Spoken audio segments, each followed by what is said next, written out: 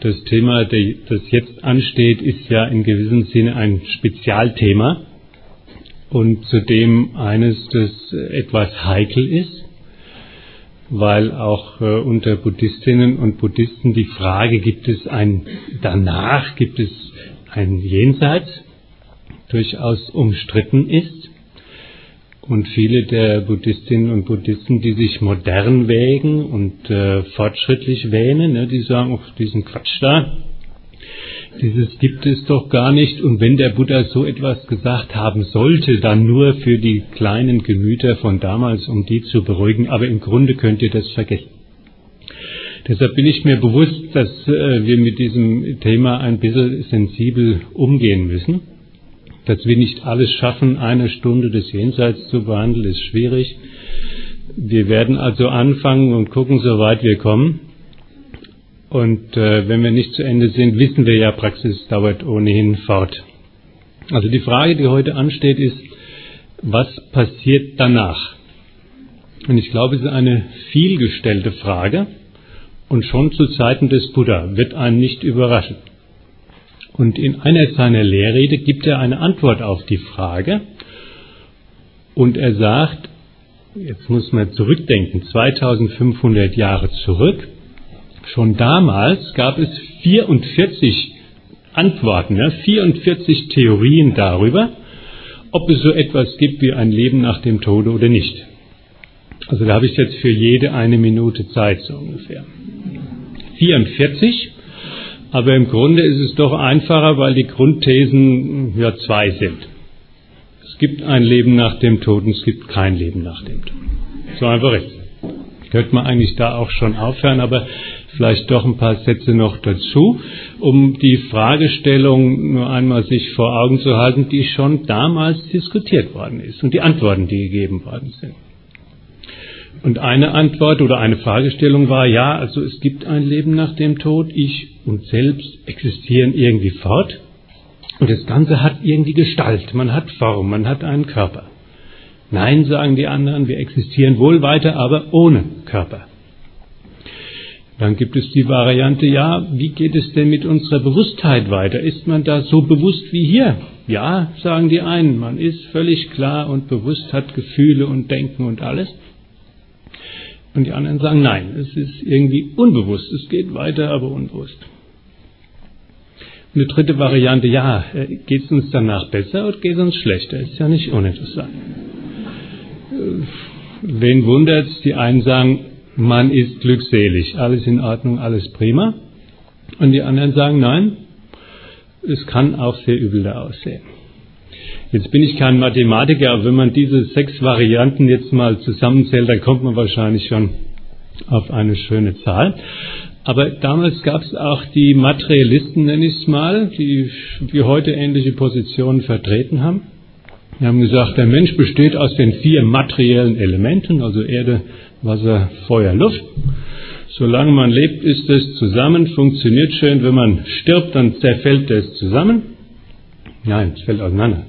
Man wird zu Grabe getragen, drei, vier Lieder werden gesungen und dann ist das Ganze vorbei. Wenn man sich das vor Augen hält, hat man das Gefühl, dass das eigentlich eine Debatte ist, die heute genau so geführt wird. Vielleicht mit anderen Worten, mit anderen Bildern, aber im Grunde ist es dieselbe Fragestellung. Und man muss eigentlich sich fragen, kann man denn darüber etwas wissen? Kann man diese Frage beantworten? Ja? Oder muss man das glauben? Muss man glauben, was der Buddha gesagt hat oder was der Pfarrer sagt und, und, und. Und ich will jetzt ähm, zunächst mal gar keine Behauptungen aufstellen, die zu einem Glauben führen könnten, sondern erst mal ein Stück weit die Positionen untersuchen, die wir heute im Westen allgemein oder vielfältig einnehmen. Und dann mit Hilfe äh, des Buddha beziehungsweise eines seiner großen Mönche mal nachfragen, wie realistisch sind denn unsere Denkweisen, die wir haben. Wir haben ja Denkmuster in Bezug auf Tod und Sterben. Also wir mal gucken, wie realistisch die sind. Äh, wenn wir westliche Positionen betrachten, dann sind die vielleicht äh, verkürzt dargestellt so, wir haben diesen materiellen physischen Körper, diesen Organismus, weil der existiert, sind Gefühle möglich, ist Denken möglich, ist Bewusstsein möglich, ist Glück und Leid möglich. Also das, was wir Leben und Erleben, Wahrnehmung nennen, scheint abhängig, oder es wird behauptet, ist abhängig von dieser materiellen Grundlage von unserem Körper. Nun können wir ja alle beobachten, dass dieser Körper irgendwann zerfällt, verwest, nicht mehr da ist. Und da ist die Schlussfolgerung fast zwingend zu sagen wird, dann ist auch unser Leben zu Ende. Aus. Vorbei. Wenn das so ist, dann stellt sich auch die Frage nach einem Jenseits, nach einem Fortexistieren nach dem Tode nicht mehr, weil ja, die Grundlagen dafür einfach nicht gegeben sind. Und ich will jetzt mal versuchen herauszufinden, indem ich ein, einen kleinen Dialog nacherzähle, die ein großer Mönch, ein Schüler des Buddha, mit einem Materialisten der damaligen Zeit geführt hat. Der Mönch hieß der Kumara Kassapo und sein Gesprächspartner Payati, einer, der ja, weltlich gesprochen ein Administrator war, ein Landrat, ein, ein Verwaltungsmensch. Der aber, wie wir alle auch, an dem Thema Tod und Fortexistenz interessiert war. Und er hat genau diese Haltung vertreten. Er sagt, nach dem Tod ist alles aus. Und ich, Payasi, habe das sogar getestet. Ich bin nicht einfach hereingefallen auf das, was ich so gehört habe, sondern ich habe selbst Experimente angestellt, um herauszufinden, ob das funktioniert. Und er hat es ganz schlicht gemacht. Er hat mit Menschen gesprochen, von denen er wusste, die leben nicht mehr lang. Wenn das stimmt, was die Priester sagen, dass der Fort existiert, soll der sich doch einfach bei mir melden. Und dann soll er sagen, hör mal, also mich gibt's noch, mir geht's so und so und im Jenseits funktioniert es nach dieser oder jener Weise. Und da hat er Menschen gefragt, die moralisch sehr hochstehend war, die nach der Theorie in den Himmel kommen, ja, so würden wir es sagen, und Menschen, die moralisch eher na, niedrig eingestellt waren, die nach allgemeiner Theorie mehr abwärts marschieren. Die hat er gefragt und die sind eines Tages auch gestorben und er hat gewartet und gewartet und gewartet. Ja, es tat sich nichts. Sie kamen natürlich nicht zurück. Ich sage das natürlich in Anführungsstrichen. Und die Schlussfolgerung, die er dazu gezogen hat, es gibt kein Leben nach dem Tod, denn die waren Bekannte von mir, die würden mich ja nicht irgendwie hintergehen, sondern die würden kommen. Das ist nur eine richtige Beobachtung, dass wir uns da nicht falsch verstehen. Dieses Experiment, was Payasi gemacht hat, war ja eines, wo er sich auf seine eigene Beobachtung verlässt. Er macht das, indem er sagt, kommt zurück, aber es kam keiner. Nur dann hat er geschlussfolgert, dann kann es auch kein Jenseits geben. Und das ist ein Stück weit auch eine Haltung, die man oft hört und sieht, dass man auf der einen Seite etwas richtig beobachtet, auf der anderen Seite aber entweder vorschnell oder falsch urteilt. So, und dieser Mönch, Kumara Kassapo, sagt nun nicht, jetzt sage ich dir mir, was richtig ist, sondern er sagt, guck doch mal allein in deinem Lebensbereich, den du so kennst, ob es da nicht ähnliche ja, Erfahrungen gibt die du mit deiner Fragestellung vergleichen kannst. Stell dir mal vor, sagt er, du hast doch die Gerichtsbarkeit unter dir. Wie ist es, wenn du einen Menschen, fast einen Verbrecher fast ins Gefängnis bringst? Kann der dann sagen, ach, lass mich doch noch mal frei, ich will erst noch meiner Verwandtschaft Bescheid sagen, dass ich eingebuchtet bin? Oder wenn du einen zum Tod verurteilst, was ja in deiner Macht ist und was ja auch damals passiert ist, kann denn der zu seiner Familie wieder zurück und kann sagen, also ich bin jetzt äh, ja, nicht mehr unter den Lebenden? Er kann es natürlich nicht und wie wir erfahren das in unserem Lebensbereich schon, dass Kommunikation und Tod ist nach der Auffassung des Buddha keine Vernichtung, ich sage das schon mal vorab, sondern nur das Ende einer gewachsenen Kommunikation, das Ende einer zwischenmenschlichen Verbindung. Das nur mal als Beispiel, um zu zeigen, wie aus einer richtigen Beobachtung äh, ein falscher Schluss gezogen worden ist. Und noch ein zweites Beispiel, das einen anderen Aspekt beleuchtet. Da fällt ein Mensch in eine Dreckgrube hinein. Ja, bis oben hin kein Haar guckt mehr raus.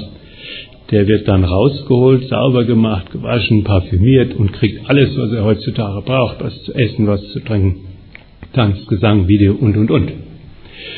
Und der wird dann gefragt, möchtest du wieder in diese Jauregrube zurück? Keiner von uns würde sagen, ja, da gehe ich gerne wieder zurück, sondern alle würden eher spontan sagen, ich bin froh, dass ich da draußen bin. Was hat es mit dem Thema zu tun?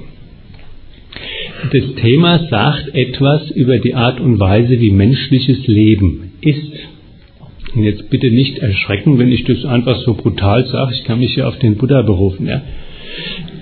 Der Buddha sagt, tendenziell, ich sage es ganz vorsichtig, gilt für uns alle nicht so sehr. Tendenziell ist menschliches Leben wie in einer Jauregrube sein. Ja? Rauskommen, sich davon befreien, ist wie ja, gewaschen sein und mit allen Sinnesgenüssen umgeben sein. Bezogen auf unser Thema heißt es, wenn jemand hier vom Menschentum abgeschieden ist, gestorben ist, dann will er unter Umständen gar nicht mehr zurück. Er vergisst sogar, wo er hergekommen ist und nimmt deshalb den Kontakt nicht mehr auf. Und der andere, das Beispiel des Verbrechers, des Gangsters, es war anders, der wollte zurück, aber er konnte nicht zurück. Ja? Das heißt, in beiden Fällen ist die Kommunikation zwischen diesseits und jenseits unterbrochen, nicht weil es beide nicht gibt, sondern weil dieser Kontakt nicht hergestellt werden kann. Und jetzt ist die spannende Frage, sind wir denn dieser Situation jetzt ausgeliefert? Sind das immer nun zwei Dinge, die so getrennt sind voneinander, dass wir letztendlich doch nur glauben können, hier gibt es das, was wir sehen, und was da drüben und was jenseits ist, ist entweder Spekulation oder Glaube allein. Und ich will deshalb der Frage der Transzendenz und Jenseits noch mal ein bisschen grundsätzlicher auf die Spur gehen. Weil ich das Gefühl habe, dass wir in unserer Zeit, in unseren Lebensumständen auch der Transzendenzerfahrung generell fremd gegenüberstehen. Warum? Wir alle sind mehr oder weniger fixiert auf eine Welt oder in einer Welt von groben materiellen Objekten. Also wenn wir uns hier jetzt umgucken, sind überall handfeste materielle Dinge. Wir sitzen auf einem Stuhl, sehen das Podium, die Decke, der Boden, alles wirklich fest. Ist eine Erfahrung, würden wir sagen, und trotzdem fallen wir auf einen ganz besonders naiven Realismus herein, weil wir das, was wir wahrnehmen, einfach für materielle Gegebenheiten halten und nennen. Und ich sage an dieser Stelle nur noch, Jenseits ist zunächst mal nur das Jenseits unserer jetzigen Erfahrung. Was jetzt in dem Raum oben geschieht, was noch eins oben drüber geschieht, ist jetzt für uns Jenseits. Nicht in einem absoluten Sinn, denn wir könnten, wenn der Vortrag langweilig wird, hochgehen und uns dieses Jenseits angucken. Da wäre das oben Diesseits und das wäre hier Jenseits. Wir sind an diesem kleinen Beispiel schon, dass das, was nur ja, getrennt scheint, nur unter bestimmten Bedingungen getrennt ist und wir diese Bedingungen überwinden können. Nehmen wir ein zweites Beispiel, nehmen wir die Wahrnehmungsfähigkeiten von Tieren, ja, von Hunden, die ganz andere Dinge hören, oder Bienen oder Fledermäuse, weiß ich, was wir als Beispiele nehmen können. Also alles Wahrnehmungsmöglichkeiten, die Tieren selbstverständlich sind, die uns aber verborgen sind. Ist für uns jenseits, weil jenseits unsere Erfahrungsschwelle. Aber nicht in einem absoluten Sinne jenseits, weil wir Messapparate, ja, äh, Instrumente geschaffen haben, die uns das messen können. Und drittens, drittes Beispiel, dann komme ich davon weg. Während wir hier sitzen, ist dieser Raum völlig durchdrungen von allen möglichen Strahlen, Strahlungen. Fernseh, Handy hat man ja schon zum Teil gehört, dass es diese äh, Wellen gibt. All das ist für uns jenseits.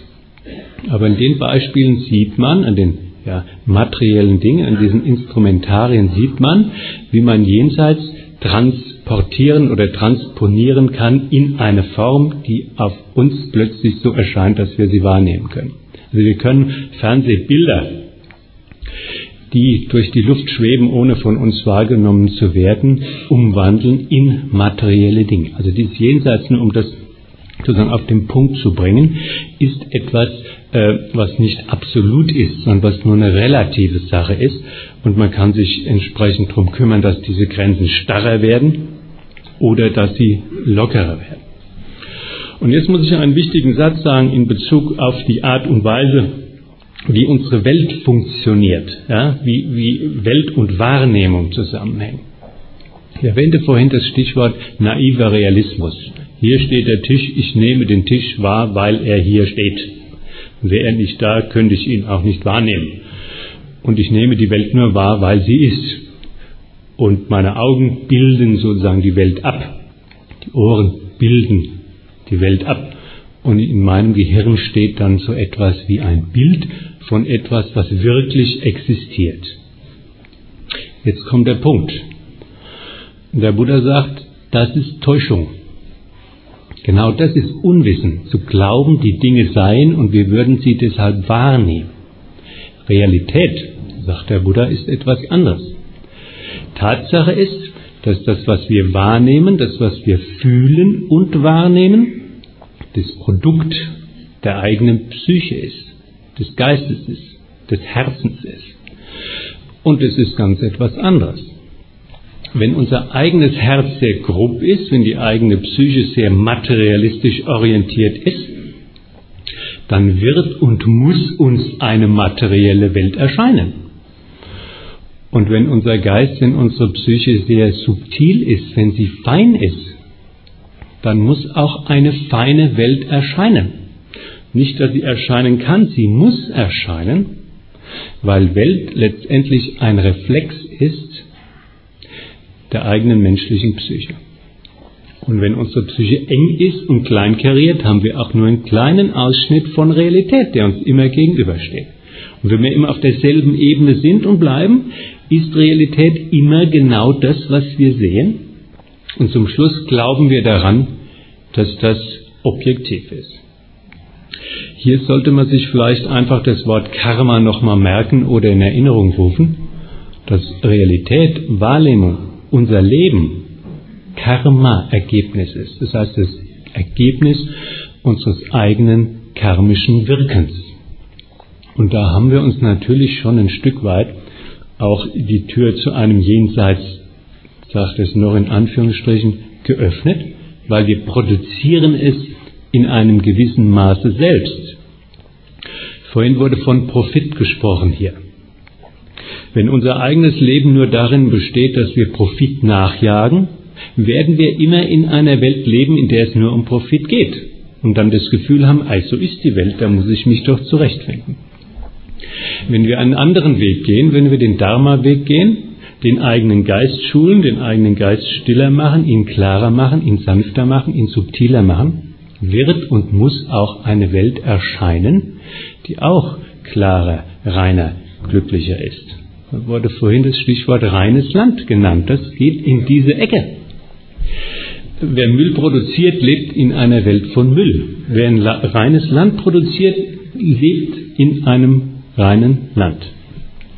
Schon hier und jetzt da müssen wir sozusagen nicht äh, aufpassen, dass es irgendwann vielleicht mal nach dem Tod passiert. Äh, das ist aber jetzt viel Theorie. Der Buddha sagt, das kann man ja auch praktisch nachvollziehen. Man kann jetzt schon sehen, ob das stimmt. Man kann jetzt seinen eigenen Geist schon so verändern, die eigene Psyche so trainieren, dass man merkt, es gibt etwas, was jenseits unserer jetzigen engen Sinnesschwelle ist. Vielleicht habt ihr schon gehört oder haben Sie gehört von dem, was das himmlische Auge genannt wird oder das himmlische Ohr. Für uns etwas, was märchenhaft klingt, vielleicht einer Mythologie entnommen ist oder aus Kindererzählungen stammt. Für den Buddha war das eine Realität. So wie unser grobes Auge die groben Dinge sieht, sieht unser geistiges, subtiles Auge die subtilen, feinen, jenseitigen Dinge. Und er sagt in einer Rede, die man auch leicht nachlesen kann, zu einem Mönch Udayi, ich zeige Wege, ich zeige die Praxis, wie man dieses himmlische Auge erwerben kann, wie man da hineinwachsen kann, wie man das trainieren kann. Und ich zeige auch, wie man dieses himmlische Gehör erlernen kann. Das heißt, wie man es klingt jetzt so spiritistisch, ja, wie man mit seinen Sinnesorganen, verfeinerten Sinnesorganen, Kontakt zum Jenseits aufnehmen kann. Im Übrigen waren all diese Dinge für den Buddha eher nebensächlich und eher normal. Nur für uns Westler, die wir ganz weit weg sind von dieser Sichtweise von Realität und Welt, klingt es irgendwie besonders und klingt mystisch und klingt vielleicht sogar äh, nicht vertrauenswürdig und klingt längst überholt und äh, überkommen durch unsere Naturwissenschaft.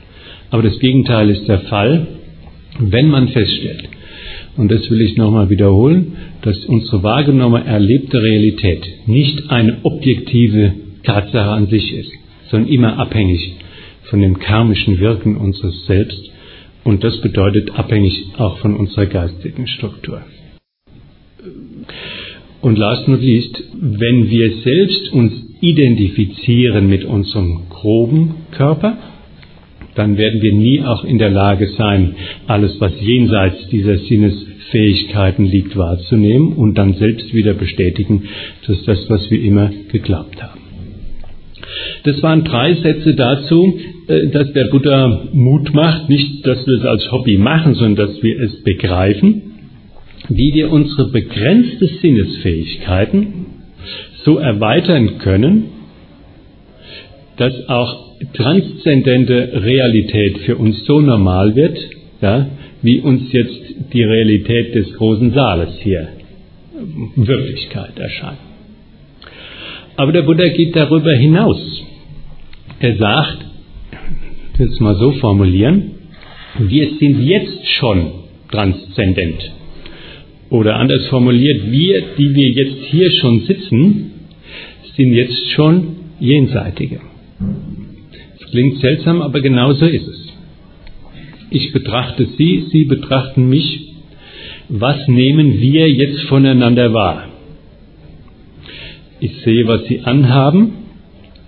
Ich sehe, wie Sie sitzen. Ich sehe Ihren Körper. Und dann ist schon Schluss. Ich sehe nicht, was Sie denken. Ich sehe und fühle nicht, was Sie fühlen.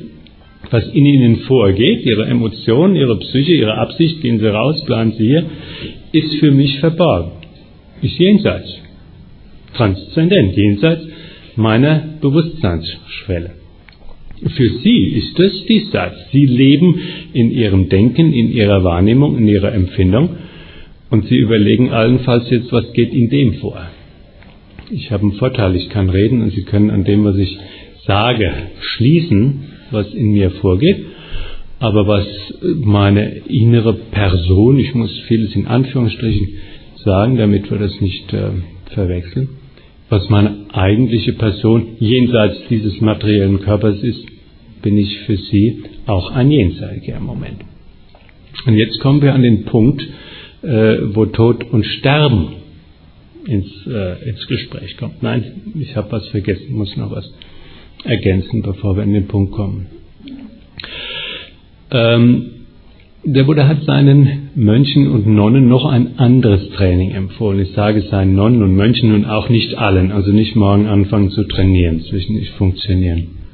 Er sagt, es ist möglich, hier jetzt in diesem Leben, aus diesem grobstofflichen Körper einen feinstofflichen Körper hervorgehen zu lassen, ihn gleichsam von diesem Körper zu trennen und auf dieser Ebene jetzt zu agieren. Und er gibt drei Gleichnisse, die aufschlussreich sind, deshalb möchte ich es dir vortragen. Das erste Gleichnis ist, ach, guckt euch einen Grashalm an. Es erscheint zunächst wie eine kompakte Sache, ein Grashalm. Dann nehmt diesen Grashalm und zieht den inneren Halm raus und ihr werdet plötzlich merken, dass diese Einheit Grashalm gar keine Einheit ist, sondern eine Zweiheit. Eine Hülle, eine sozusagen Blattscheide und ein Halm, der da drin steckt. Und wenn man ein bisschen zupft, ja, kann man beides trennen und sieht, es sind nicht eins, sondern zwei. Dies ist eine Analogie für die Wahrheit, dass wir auch eine Zweiheit sind. Eine Zweiheit einmal, dieser grobe Körper, den wir alle sehen, und dann diese Zweiheit eines feinstofflichen Körpers, der alle Sinnesfähigkeiten und alle Denkfähigkeiten hat, wobei beides so verschmolzen ist für uns, dass es für uns wie eine Einheit ist. Und wir deshalb auch glauben können, wenn dieser grobe Körper kaputt geht, ist das Ganze hin. So, und da sagt der Buddha nun, es sind zwei. Das nächste Gleichnis setzt den Akzent ein bisschen anders, ihr werdet es gleich merken. Da ist ein, eine Scheide und ein Schwert drin. Selbe Prinzip, wenn man drauf guckt, sieht es aus, als wäre es eine Sache, aber man kann das Schwert rausnehmen. Sind wieder zwei. Aber wo ist der Unterschied zum vorhergehenden Gleichnis? Was ist wichtiger bei beiden? Die Scheide ist nur eine Hülle. Wenn man die verliert, ist nicht schlimm. Aber das Schwert oder das Messer, wie immer man das will, das ist das Entscheidende. Wenn das eine kaputt geht, ist nicht so wild. Man hat das Instrument noch.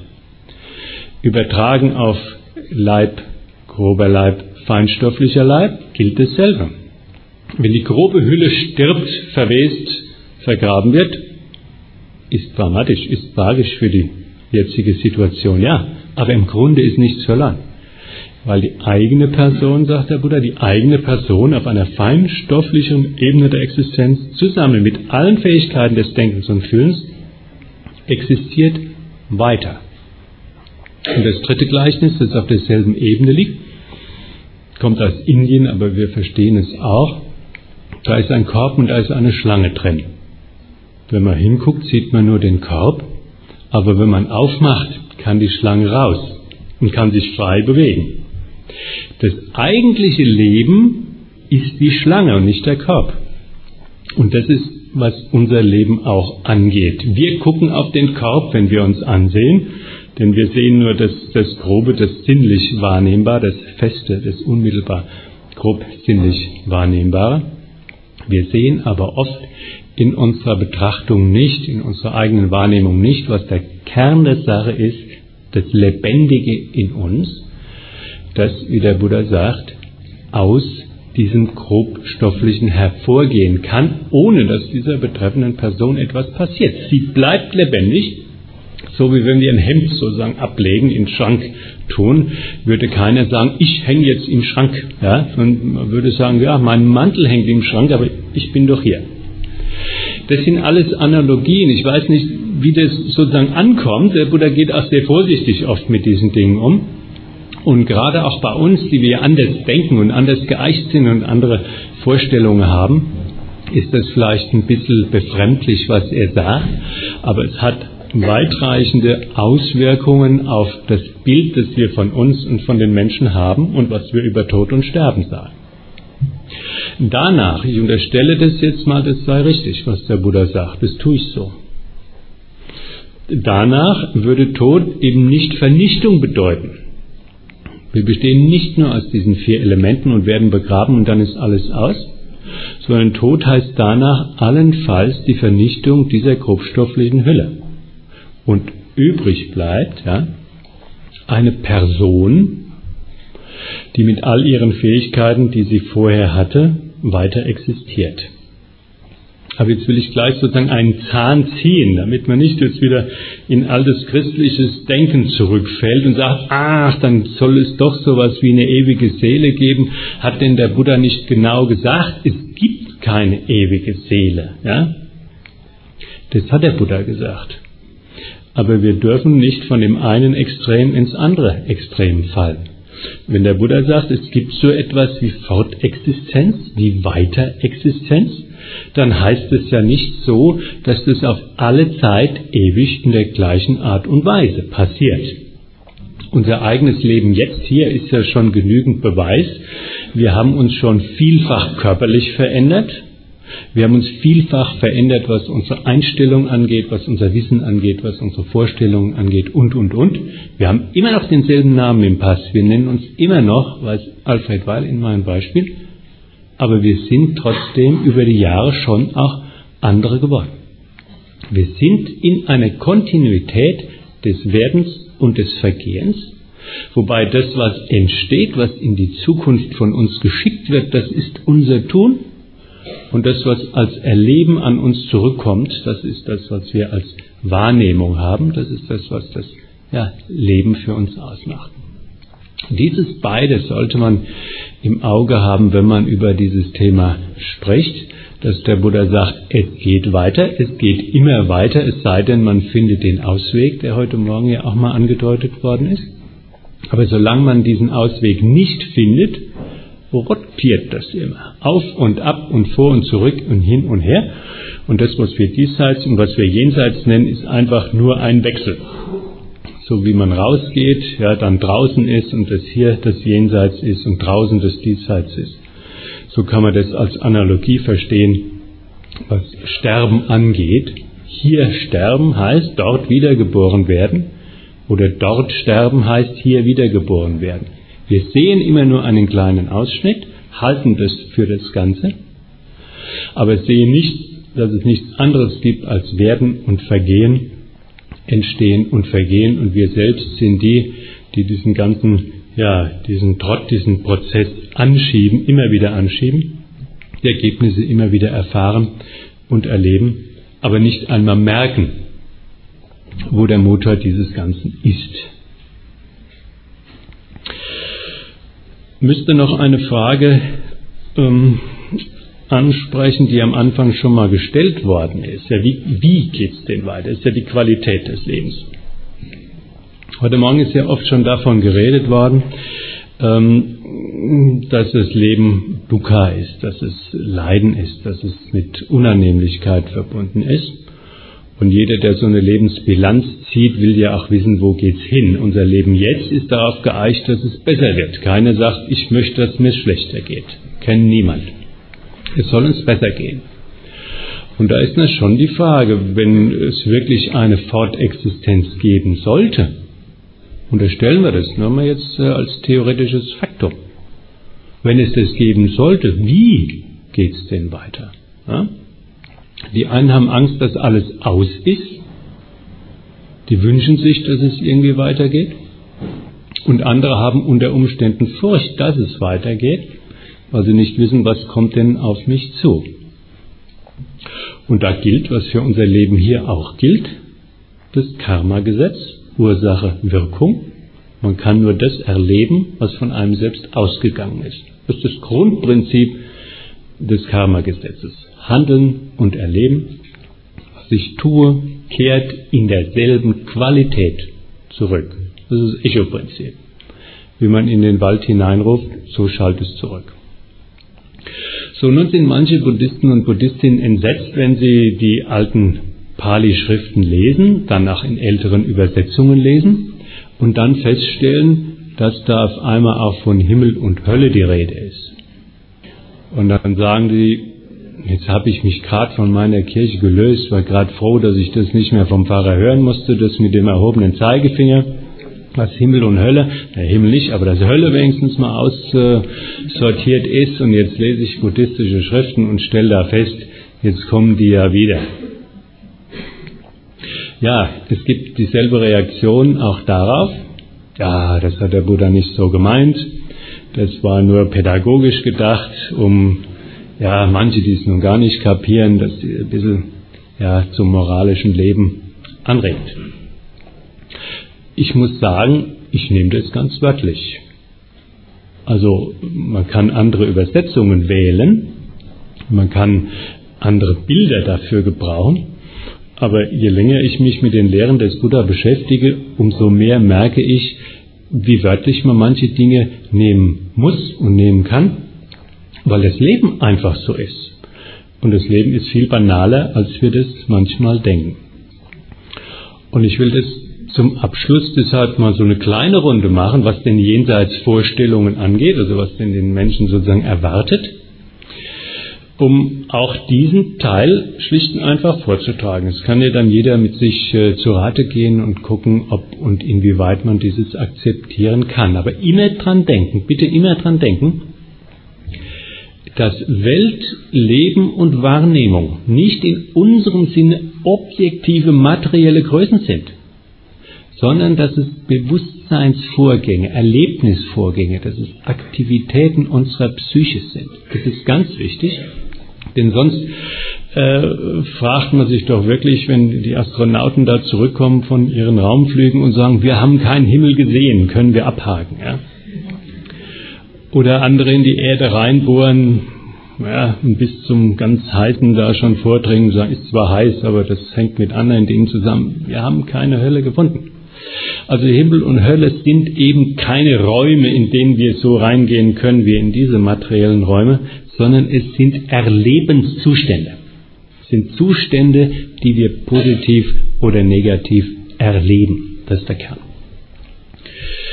Ähm, wir wissen, dass der Buddha ja häufig Gleichnisse braucht, um uns Dinge nahezubringen, die abstrakt schwerer zu verstehen sind. Und in dem Falle tut er das auch, wenn er erklären will, was Himmel und Hölle ist. Dazu Menschenreich, nicht? Gespensterreich, noch so ein seltsames Wort, und das Tierreich. Also diese fünf Grunderlebensformen gibt es. Um die zu unterscheiden, gibt er ein schönes Gleichnis. Er sagt, stellt euch einen Menschen vor, der in der Wüste spazieren geht. Unten heißer Sand, oben knallt die Sonne. Und der läuft den ganzen Tag darum. Klammeranmerkung, das ist das, was heute Morgen als Leiden, als Dukkha angesprochen worden ist. Das Leben ist ja nicht ganz einfach. Unten brennt der Sand, oben knallt die Sonne. So, was ist Hölle? Hölle ist, wenn es unten brennt und oben brennt, man dann noch in eine Feuergrube fällt. Ja, das ist Hölle. Warum? Wer läuft in dieser Glut, der wünscht sich was zu trinken, der wünscht sich ein Dach, der wünscht sich Schatten. Aber was erlebt er? Genau das Gegenteil. Zu dem Brennen noch Feuer dazu. Das ist Hölle, abstrakt formuliert. Wenn meine Wünsche nicht erfüllt werden, sondern wenn das genaue Gegenteil von dem eintritt, was ich mir wünsche, das ist Hölle. Wo das ist, oben, unten, links, rechts, ist völlig egal. Hölle können wir demnach auch hier erleben. Was ist Himmel? Um das Gegenbeispiel zu nehmen. Also der Junge läuft wieder durch den Sand, unten brennt oben brennt heißt kein, also starker Durst, viel Durst, brennen überall, aber kein Wasser, nichts.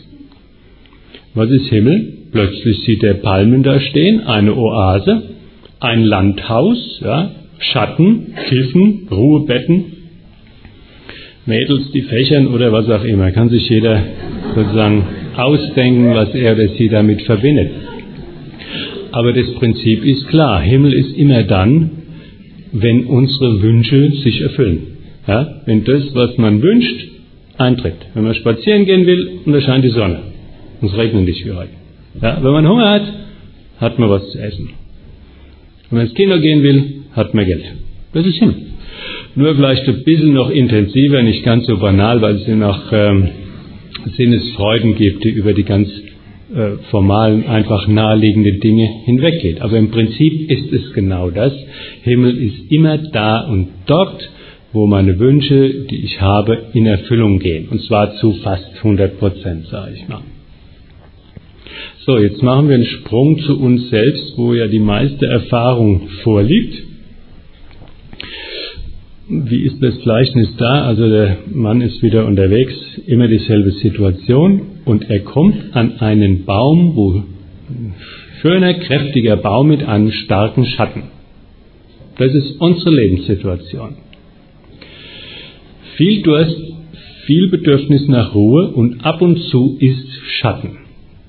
Menschliches Leben ist Leben mit gemischten Erfahrungen. Auf der einen Seite heiß, auf der anderen Seite aber auch kühl. Auf der einen Seite klappt das, was wir vornehmen, auf der anderen Seite geht es schief, was wir vorhaben. Menschliches Erleben ist gemischtes Erleben und geht aus einem gemischten Tun, aus gemischtem Karma hervor. Wir sind deshalb Menschen geworden, weil wir gute Eigenschaften und schlechte Eigenschaften in uns ja, vereinen. Und menschliches Leben setzt sich fort, wenn wir bei diesen guten und schlechten Lebensformen, diesen Aktionsformen, Handlungsmustern bleiben. Und da kann man auch rückschließen, wie man in den Himmel kommt. Ja? Wenn man nur positive Dinge tun, können nur positive Dinge an uns zurückkommen, um es ganz einfach auf die Formel zu bringen. Und wenn wir nur negative Dinge tun, können auch nur negative Dinge an uns zurückkommen. Das klingt sehr einfach, ist ja aber auch nur das Prinzip der Sache. Aber da wir sehr komplex denken, sehr komplex wollen, ist die Gemengelage ausgesprochen unübersichtlich. Aber die Richtung ist klar, wenn man sich auch heute Morgen angesprochen auf der Ebene des moralischen Verhaltens stabilisiert nach oben entwickelt, ist das schon eine Garantie, dass das auch mit unserem Erleben besser wird. Und wenn wir uns nach unten entwickeln, nicht Moral sein lassen, ethisches Verhalten einfach sein lassen, dann ist es vorgegeben, dass es mit unserem Leben abwärts geht. Wir ergänzen nur ganz kurz noch die beiden anderen Lebensbereiche, die es noch gibt. Das Tierreich ist uns bekannt, da brauche ich glaube ich nicht viel darüber zu sagen. Und ähm, ja, die Übersetzung des fünften äh, Lebensbereiches ist manchmal so ein bisschen, ja, klingt seltsam, das Gespensterreich wird es manchmal genannt, oder das äh, Reich der abgeschiedenen Geister, also dieser Wesen, die noch Menschen nahe sind, aber trotzdem keinen groben physischen Körper mehr haben. Während in der sogenannten Hölle diese äh, Verhaltensmuster von Hass, von Feindschaft, von äh, Zorn, von Widerwille dominieren, sind es geistige und seelische Eigenschaften im sogenannten Himmel, der Güte, der Freude, des Wohlwollens. Ja, also man sieht da auch diese Korrespondenz von der inneren Haltung, von der inneren Situation der Psyche und dem, was an Erlebens- und Erfahrungsbildern da zurückkommt. Was Menschen angeht, habe ich schon gesagt, da ist es sehr gemischt. Wir haben einen guten Tag und können die ganze Welt umarmen, freundlich zu allen.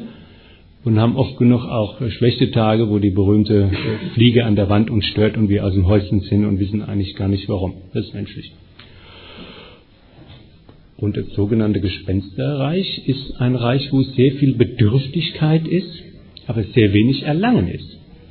Bestes Beispiel vielleicht des eines Süchtigen, der große Bedürfnisse hat, seinen Stoff oder was auch immer zu bekommen und zu haben, aber er, er oder sie bekommt es nicht, kommt nicht hin. Und das Tierreich ist eine ja, Lebenssituation, in der Dumpfheit, Nichtverstehen, Ahnungslosigkeit, Unwissen, ja, also Unklarheit dominieren. Kurzum, wenn wir überlegen jetzt nochmal die Frage, was passiert danach, ja, nach dem Tode, nach dem Sterben, wäre das die Grundantwort, die der Buddha gibt. Erstens, es geht weiter.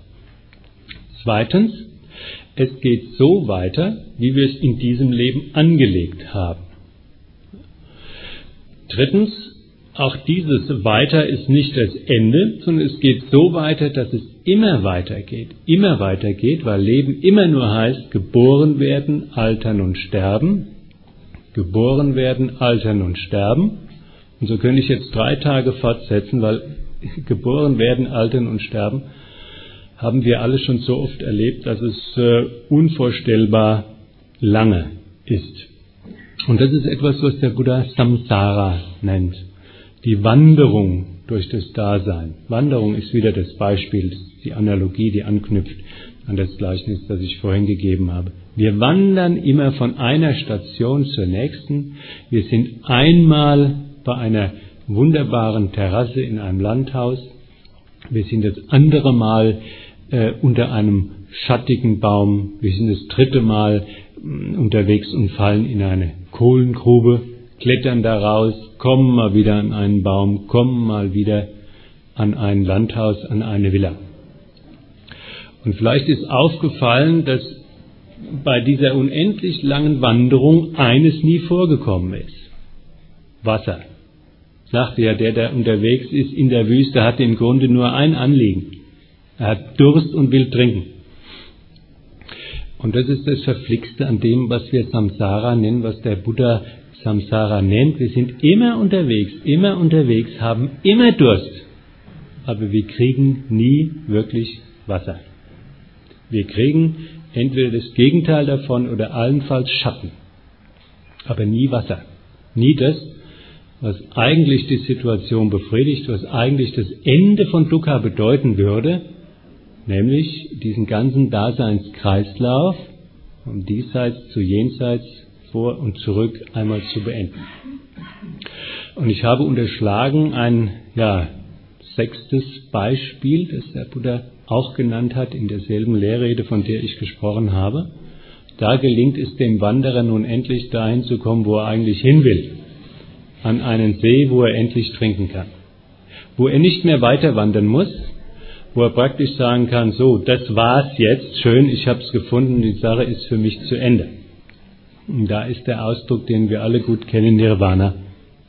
Das Verlöschen der Grundkräfte in uns von Gier, Hass, Verblendung, Zuneigung, Abneigung, Nichtwissen, wo diese Grundelemente unserer Psyche aufgelöst, veredeltigt, beseitigt sind. Dort ist auch der Daseinskreislauf beseitigt, dort ist auch die Daseinswanderung ja, beendet und dort hört das auf, was wir diesseits und jenseits nennen, weil diese Dimension des Nirvana, des Verlöschens, etwas ist, wohin Sprache nicht mehr reicht. Und das ist das Stichwort für mich aufzuhören, weil meine Sprache jetzt an dem Punkt auch zu Ende ist. Sie ist noch ein bisschen übrig, wenn noch Fragen sind oder Einwände oder andere Erfahrungen. Ansonsten danke ich, dass viele im Diesseits geblieben sind während der Stunde und nicht in irgendein Jenseits draußen vor der Tür waren. Vielen Dank.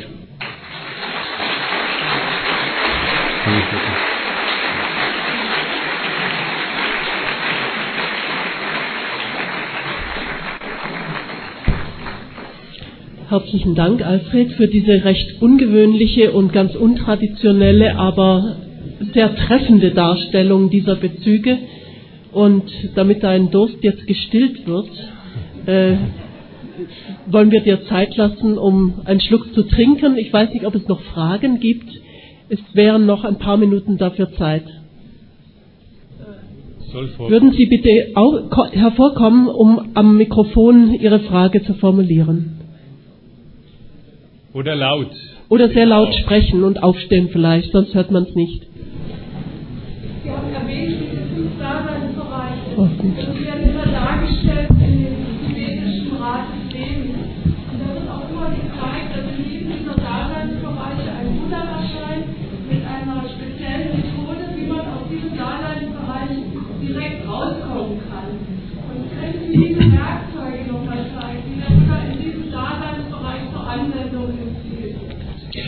Ich will es mal so formulieren.